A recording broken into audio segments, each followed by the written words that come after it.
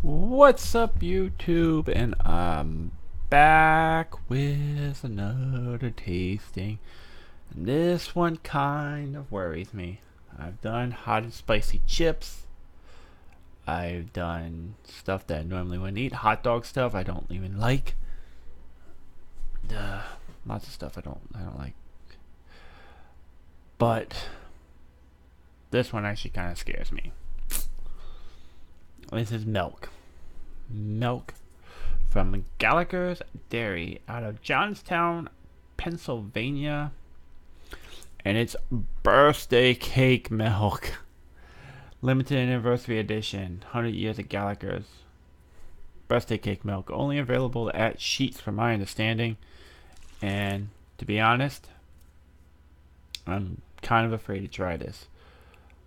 Uh, Artificially flavored, low fat milk, blah blah blah. Here's your label. If you're in the area and you have a Sheetz nearby and you see this and you may want to try it, um, $1.70 for what, a pint? It's not too bad. But you know what? I'm kind of worried. Kind of worried. Oh, it smells so sweet. It actually legitimately smells like birthday cake. So our, our the driver that delivers it, he told me that uh, they made 5,000 cases of this originally and they sold every single case. It smells like milk and it smells like birthday cake, like a very very sweet, marshmallowy, artificial. It's definitely artificially flavored. It's kind of like if you get birthday cake um, drinks, how they kind of smell. It's kind of reminds me of. Let's see what this shit tastes like.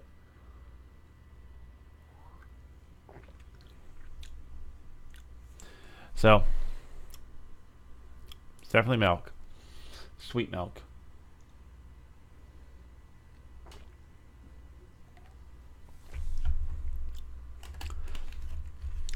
I can tell you right now what they use to, to artificially flavor this. Um, we have vanilla. But I also want to say there's um artificial vanilla. But I want to say there's also an artificial marshmallow because that's exactly what it tastes like. It kind of tastes like the artificial marshmallow that you get in birthday cake drinks.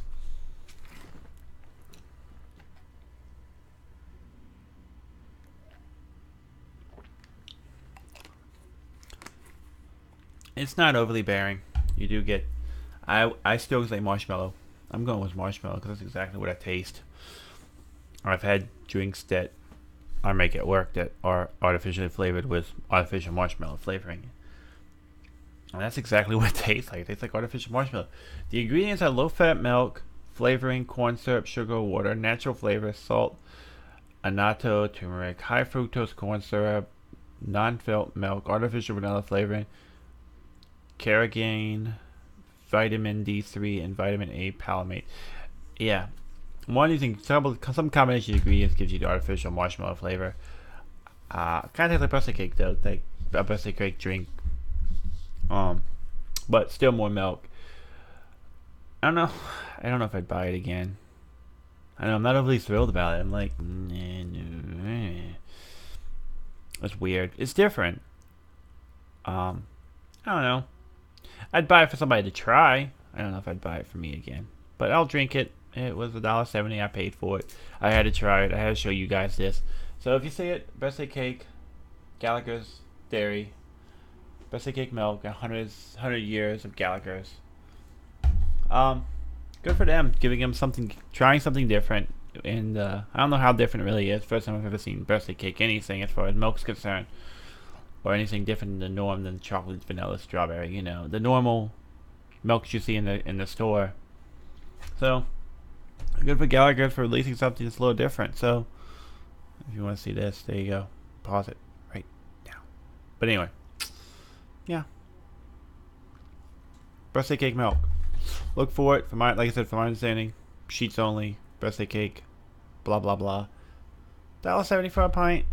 Ah, whatever give or take. I'm not really, I'm not a fan. Um, yeah, not a, not not super thrilled with it. But you may like it. It's kind of weird. So I'll see you all next time. sorry this wasn't the most exciting because I was worried from the beginning to taste it. And I still am not a big fan of it. So I'll see you guys next time. Take it easy. Have a good one. Peace.